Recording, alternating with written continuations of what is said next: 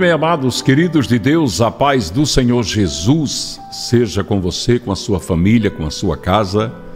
Estávamos ouvindo aí o hino da querida irmã Gracelina Lopes, cabo-verdiana que reside na Suíça. Inscreva-se no canal dela, canal Gracelina Lopes. Lá você encontra todos os hinos dela, hinos maravilhosos. Né? Ela tem esse sotaque cabo-verdiano e é uma pessoa muito amada pelo Ministério Pão da Vida. Pastora Jossanete, a paz do Senhor Jesus. A paz do Senhor, pastor, a paz do Senhor, família Pão da Vida, um dia abençoado. Né? Que Deus venha abençoar cada um e que nós temos essa convicção que a nossa dependência por esse Pai maravilhoso é todos os dias. Um bom dia, bom dia abençoado, em nome de Jesus. Amém, queridos. Nós vamos falar hoje sobre vencer. Quem não quer vencer? Todos nós queremos vencer, não é verdade? Então hoje Verdade. nós vamos trazer uma mensagem sobre vencer para o seu coração e depois a oração da manhã. Aleluia. Então venha refletir conosco, recebendo esta mensagem em seu coração. Queremos pedir que você se inscreva no canal, ajude o canal a crescer, compartilhe com pessoas que você conhece, envie para pessoas links para elas também ouvirem a palavra de Deus. Amém? Vamos trazer então a mensagem do coração de Deus para a sua vida. Todos nós, em determinados momentos da vida, amargamos coisas que nós não queríamos que acontecessem em nossas vidas. E existe o desejo no nosso coração de que tudo em nossas vidas dê certo. Quando fazemos as coisas, a nossa esperança é que tudo funcione, que tudo dê certo. Assim é no casamento, assim é com os filhos, é com o trabalho, com os projetos que nós planejamos. E todas as vezes que aquilo que planejamos não dá certo, nos frustramos, ficamos tristes. Mas a palavra de Deus vai nos ensinar coisas maravilhosas, porque nós não podemos vencer na vida sem confiar em Deus. A vitória, ela não depende, não depende da nossa força, né, pastora? É verdade. A vitória depende de Deus. A palavra de Deus diz que é, não é do homem o seu destino, mas a Deus pertence os seus passos. Aleluia. O homem pode planejar, quando eu digo homem, é homem e mulher. Pode planejar, pode fazer mil e um planos, mas se Deus não tiver no controle da sua vida, nada disso vai dar É certo. verdade. Temos que colocar Deus na frente. Veja o que está escrito na carta de João, em 1 João, capítulo 5, versículo 5. Quem é que vence o mundo? Somente aquele que crê em Jesus, crê que Jesus é o Filho de Deus. Quem vence o mundo é quem tem Jesus como Filho de Aleluia. Deus. E isso nos faz entender que quando eu tenho Jesus na minha vida, como você tem na sua, isso nos faz crer, primeiro, Deus nos deu Ele num sacrifício tremendo para mostrar o seu amor por nós. E quem tem o Filho, tem o Pai, como disse Jesus Cristo. Então já é um caminho para você andar e ser vencedor.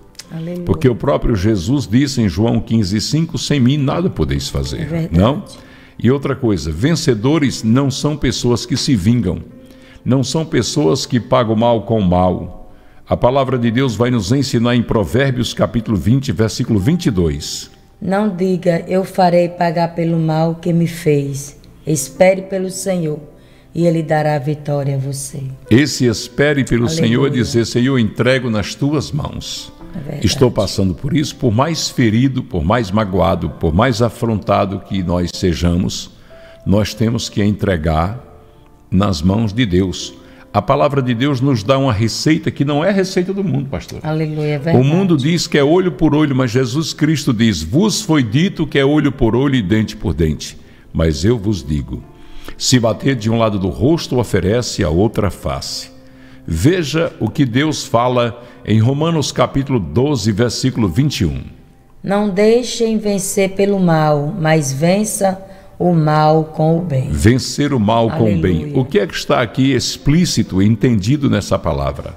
Está dizendo: se você receber o mal, faça o bem. Bem. Porque isso vem de Deus. A vitória vem de Deus. E quando você paga o mal com o bem, você venceu primeiro a você mesmo. Porque o seu desejo era se vingar, era fazer o mal, era fazer pagar pelo mal que ele fez. Mas quando eu, em obediência a Deus, não pago o mal com o mal, eu estou dizendo que venci a mim mesmo. A palavra de Deus venceu no meu coração, o desejo de Deus venceu no meu coração. Veja o que está escrito em 1 Coríntios 15, 57. Mas graças a Deus que nos dá a vitória por meio do nosso Senhor Jesus Cristo. Está vendo? Nós temos a vitória por meio de Jesus Cristo. Mas que vitória é essa? É essa vitória de vencer a nós, de vencer o pecado, de ser sabedor de que o Senhor está em nosso coração, ele reina em nosso coração. E a nossa vitória não vem da nossa força, não vem da nossa estratégia.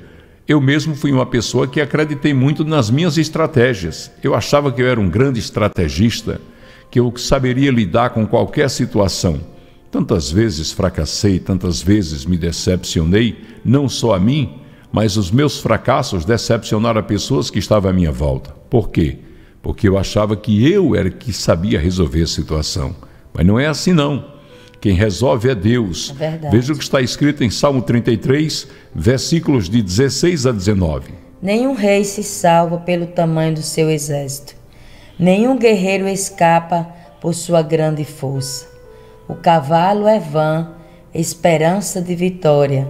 Apesar da sua grande força, é incapaz de salvar, mas o Senhor protege aquele que o teme, aqueles que firmam a esperança no seu amor, por livrá-los da morte e garantir-lhe vida mesmo em tempo de fome. Olha que Aleluia. palavra maravilhosa do Salmo Verdade. 33, né?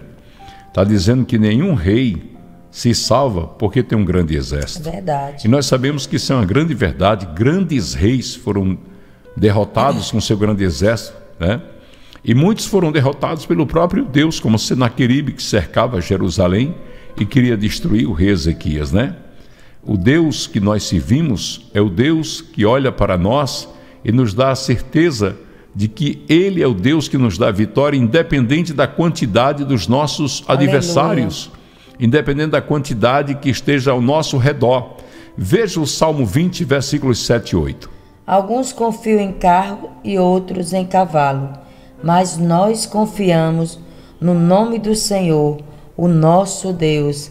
Eles vacilam e caem, mas nós nós erguemos e estamos firmes. Nós nos Aleluia. erguemos e ficamos firmes. Aleluia. Essa é uma grande verdade.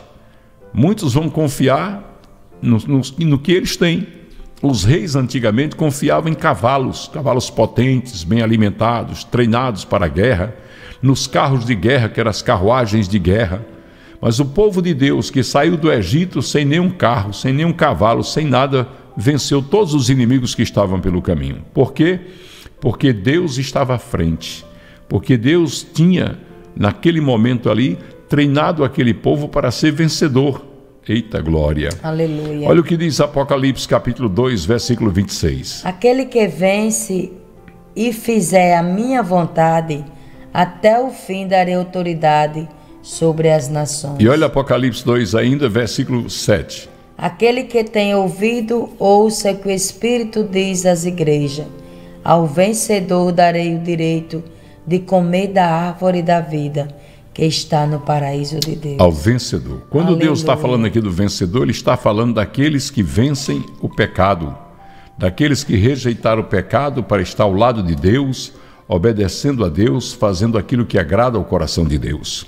Aleluia. Essa palavra é uma palavra fiel e verdadeira e digna de toda aceitação. Aleluia. De que se eu, você, a pastora Jossanete, nós fizermos a vontade de Deus, teremos Deus sempre ao nosso lado para nos defender, para nos guardar. Isso é que é a grande verdade. Verdade. Nós temos que entender que Jesus Cristo, ele nos deu a receita da vitória. Deus disse: Olha, você tem a mim. Eu sou Deus que criei os céus e a terra.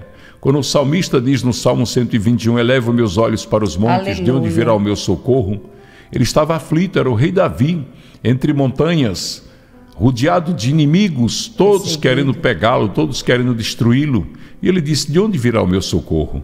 Mas ele olha além dos montes. Aquilo ali significava que ele Aleluia. estava olhando além das dificuldades, além das lutas. E ele diz: O meu socorro vem do, Vem do Senhor, Senhor que fez o céu. e fez o terra. céu e a terra. Oh, que você possa vir, ver e vir para este socorro que é Deus. Deus é o nosso socorro presente na angústia. E hoje nós vamos orar e pedir a Deus exatamente esse socorro. Que o Senhor tenha misericórdia de cada um que está conosco nesta oração da manhã. Aleluia. A nossa oração é para dizer: maravilhoso Pai, Sim. Santo e poderoso Deus. Estamos aqui, Paizinho, no nome de Jesus Cristo, agradecendo, Sim, Pai, Senhor. por tudo que o Senhor tem feito pelo teu povo. Pedindo, Paizinho querido, Deus amado, a tua mão protetora Sim, estendida sobre a vida dos teus filhos e filhas que nos acompanham. Deus, sobre a vida de todos os inscritos no canal. Estamos pedindo, Deus, a tua proteção, a tua mão estendida. Nós sabemos que Sim, sem sim. ti nada somos nem nada podemos fazer. Sabemos, Pai, que os nossos planos, nossos projetos sem a tua direção irão fracassar. Por isso que estamos aqui diante do Senhor pedindo: olha para nós com olhar de misericórdia. Realiza em nossas vidas aquilo que apraz ao teu coração. Deus, socorre o teu povo, Deus. Socorre. Socorre os irmãos que estão passando por Sim, dificuldades Pai. financeiras, os que estão passando por dificuldades em seu casamento, os o pais Senhor, que enfrentam Pai. dificuldades no relacionamento com os É, filhos. Paizinho querido Deus amado, tu és o Deus. Todo-Poderoso que tudo pode, por isso nós estamos aqui pedindo: olha, Senhor, Olha para as mães, para os pais, olha para todos que estão aqui, Deus. Muitos estão desesperados porque sabem que essas situações eles não podem resolver, É. mas o Senhor pode, Deus. E nós estamos aqui entregando em tuas mãos Sim, cada um dos irmãos e irmãs que tem compartilhado, Senhor, este vídeo com esta oração todos os dias. Estamos entregando em tuas mãos todos os problemas, todas as enfermidades. Estamos clamando por aqueles que estão passando pelo vale triste da depressão. Senhor, pelas, aqueles que sofrem de ansiedade, do pânico, aqueles que têm procurado paz em seu coração e não têm encontrado, mas nós estamos aqui pedindo a tua mão poderosa estendida sobre a vida dos teus filhos e filhas. Olha, Paizinho querido, meu Pai. com teu olhar misericordioso sobre as famílias. Não deixa faltar o pão na mesa, não deixa faltar a união entre pais e filhos, entre esposo e esposa. Sim, pai, Pai. entre toda a família, os netos, que eles amem seus avós, seus tios, seus primos. Pai querido, que a família se una em oração para receber as tuas bênçãos, pois a nossa família é teu projeto, Deus. É, e nós pedimos em nome de Jesus Em a tua nome, bênção, Senhor. Derrama das janelas Senhor, dos céus Senhor. Sobre a vida dos dizimistas e ofertantes da É, pão da vida. Pai querido, realiza o milagre da multiplicação Sim, na vida dos irmãos e irmãs que nos ajudam a fazer a tua obra. Paizinho. Senhor, os que têm votos e propósitos com a casa do Pai, que sejam realizados Paizinho. aquilo que eles têm pedido, Pai, porque esta obra é tua, nasceu do teu coração. Abençoa todos que oram pela igreja Pão da Vida, que oram pela minha vida, a vida da minha esposa. Pai, eu te peço, abençoa todos os em teu pastores, todos os obreiros, as nossas pastoras, os nossos irmãos em todos Sim, os quadrantes da terra, que sejam abençoados pela tua mão poderosa, cada uma das nossas ovelhinhas, Sim, que nós amamos, Senhor, e sabemos que foi o Senhor que nos deu para cuidar e para amar. Abençoa a todos, meu Pai, no nome de Jesus Cristo. Amém. Amém. Amém, glória a Deus. Louvado seja o teu nome. Obrigado, amados. Daqui a pouco a gente se encontra no culto do lar. Sim. Pastor Gabriel não está fazendo o programa agora, o Bom Dia Jesus, esses dias, que ele está muito ocupado com a escola teológica e com o alto da Páscoa. Que vai ser que bênção, já vai ser, vai ser sexta, sábado e domingo. Você vai assistir pelo YouTube, você que mora É, prepara na sua casa. fora de Mossoró, mas quem convide. está em Mossoró, nós convidamos para vir para a igreja sexta, sábado e domingo. Vai ser O alto de. Páscoa vai. É tremendo, vocês vão gostar. Não vou nem dizer nada, não, porque eu tenho escutado que até nos ensaios é lágrimas, é pessoal chorando, se É emocionando. busca, né? Até aqueles que vão encenar a peça estão se emocionando. Imagine nós que vamos estar. Amém? Então prepare sua casa, convide, prepare sua família. Você que deseja ele estar na casa do Senhor e assista, acompanhe. É. Compartilhe esta oração com quem você ama. E inscreva-se aqui no canal, ajude o canal a crescer, dê o seu joinha. Deus abençoe, fiquem na paz Fica até na daqui a paz. pouco no culto lá, em nome de Jesus. Bom dia. Bom dia, Deus abençoe.